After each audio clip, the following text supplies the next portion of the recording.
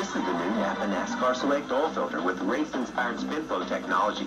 Inside a normal filter, oil experiences turbulence, which frustrates the filtration cycle. But, but spin flow technology expunges turbulence by channeling the movement of oil across the filter media. Hold on, Calpo. Large particles are constrained to flow out and away from the T52 media, facilitating excellent continuance at a myriad of pressures.